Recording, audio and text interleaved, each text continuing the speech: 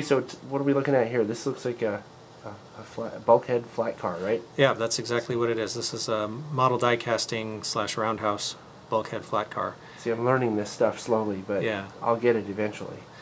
And uh, has recently reissued these cars since Athearn took over Roundhouse. Um, and I think they're selling them again. But I've done actually quite a bit of work on this one, um, especially mostly in the bulkhead areas. Uh, turn it here for a second. Is that Okay. still? Yeah, I can still see that. Let me let me zoom up to it and see what you're going to show here. Is it something on the end or what? Yeah. Okay. I've uh, basically I went through and got rid of all the molded on grab irons and replaced them with separate wire grab irons. Um, got Kadee 58 couplers on it. I could have told you that. Yeah, I, I know I do that at every, all of them.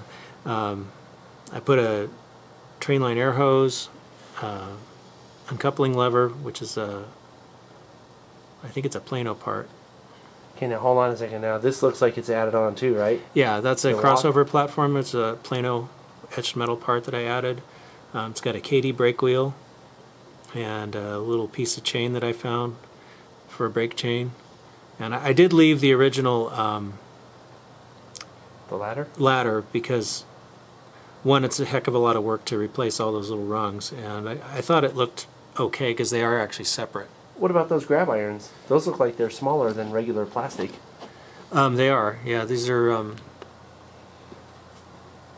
these are wire grab irons, and actually these these three down the bottom I think are from Tichy, but the, this one up here is a little shorter, which is so I had to actually custom bend that one out of brass, and these two I custom bent out of brass also because there wasn't they're not any standard size.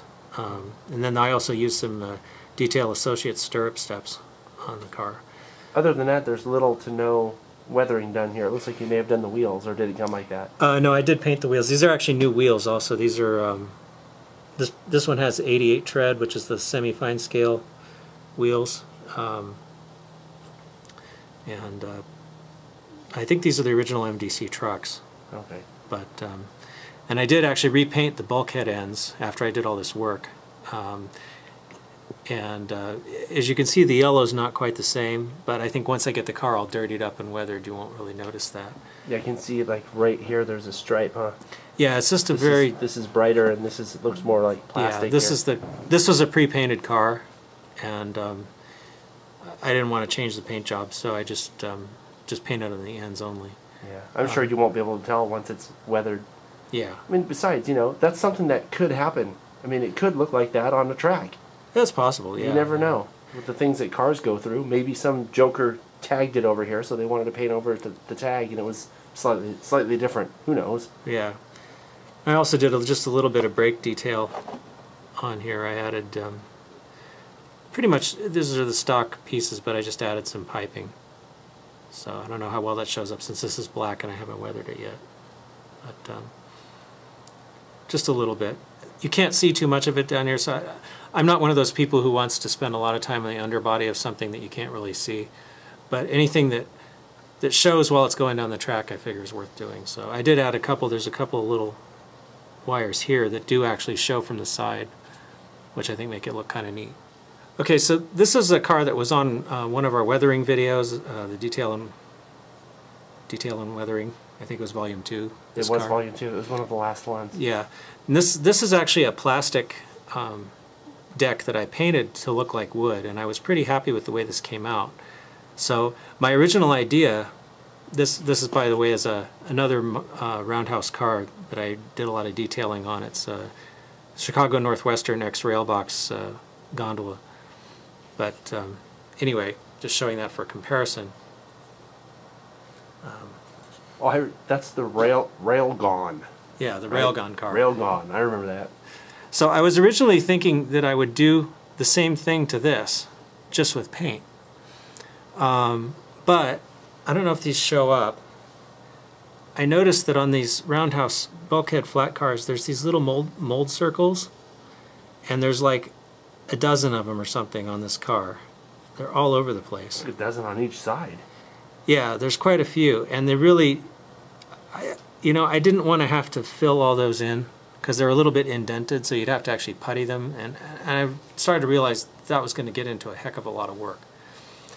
Fortunately, um, Laser Kit or American Model Builders makes a nice kit for this. This is part number 398, and it's a laser cut wood deck, and it also includes um, planking for the bulkhead ends in the inside. Oh, I get it. I was wondering what those little squares over there are. Yeah. So I have another one here that I've uh, pre-stained with some Builders in Scale uh, silver wood, just to sort of pre-weather it a little bit, since I haven't done any other weathering on the car. But I figured it'd be better to use the chemical stuff on it before I stick it on the car, so just uh, in case it messes up the paint or something. Um, and this is supposed to be peel and stick, so let's see how it works. Have you not used this before? I have not, so this is a new adventure. a new adventure on the TSG Multimedia podcast. Yeah. How So- exciting is that? Now everybody's going to see this for the first time. Yeah, if you can get the backing off. I guess. Oh, it's it's going. Okay, there it goes. Oh, wow, that's really sticky. Looks like it anyway. Now, now be very careful. Yeah, I don't. I guess you just kind of position it and stick it down. Does that look like it's aligned? Oh yeah, look at that. I mean, it's it was really made for this, wasn't it? It was. It's made It made specifically there. for Look this at that car. thing. So let's just stick it on. That was easy. Yeah, it is pretty easy. So the the other little end pieces stick on too. Yeah. And if you have now some bulkhead flats don't have the wood on the ends, so you could always leave that off. Um, but this particular UP car, which is actually this model isn't 100% authentic, um, but it's it's fairly close. That happens quite often, doesn't it? Yeah. Um, but anyway, the the car that I was sort of modeling this on, even though it's not 100% accurate, has the wood ends. So I'm going to go ahead and put those on too. It's kind of neat though. is It's got these little like uh, nail holes or something in there too, going down. So it's very detailed. Yeah, we'll see if we can zoom up to that. See now we we've zoomed up the camera. You can totally see those little nail holes. That's really, really detailed.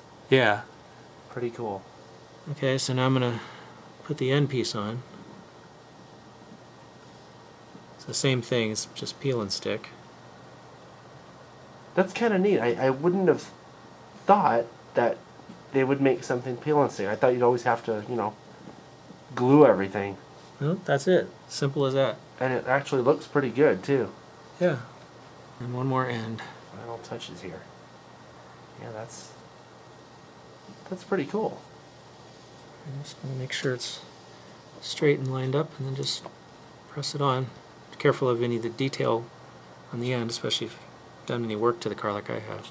So what else will you do to this car besides doing your, you know, your wash and weather and That's pretty much stuff? it. This car, unless I put a load on it of some kind, this, this car is pretty much um, as tricked out as I'm going to make did, it. Did you intend to do anything else to the to the boards? Uh, Yeah, I'll probably- here, What I'll probably do is use some, as we, um, I think on the, uh, one of the, or well, on both of the weathering videos, I use oil paint stains. Oh, right. making my own basically just using some paint thinner and, and some artist oil paint you can create stains kind of on the fly just by making the paint you know not using too much paint using a lot of thinner yeah, I remember and- that also made the the details stick out a lot better. yeah so i'll probably go through and and highlight some individual boards so they're not all the same color and then i'll probably also use some powders on it to uh, you know make it look dirty Even now, it looks good. Just with that, what was it called? Silver, silverwood silverwood. Yeah, I remember Yeah. we used that on the on one of the detailing videos. Yeah, you can tell what it. This is the part as it comes out of the bag here, and it's pretty. You know, just looks like new Yeah, wood. it's kind of glaring off of the light. Okay. There we go. Now you can totally see it. Yeah, so this is the new part, and it's just still in the package, um, and it looks like basically like new boards.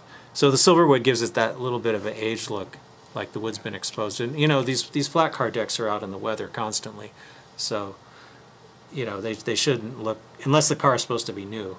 Um, they shouldn't look new. You know, I I don't think I've ever noticed a car that looked brand new. it's pretty. any yeah. of the trains that I've ever seen. I've noticed engines look like they've just been washed sometimes. Yeah, well, freight cars, I don't think they ever washed them. Uh, You know, once in a while they repaint them if they Oh. really have to. Well, there's a business for you, Dan's freight car washing yeah, service. I don't think I get much business. Railroads don't care. All right, well, that wraps it up for this podcast. Make sure you tune in or click in or whatever you do. Subscribe. That's it. Subscribe. Make sure you subscribe next time, and we'll see you then. Thanks Yeah. for watching. Yeah, thanks.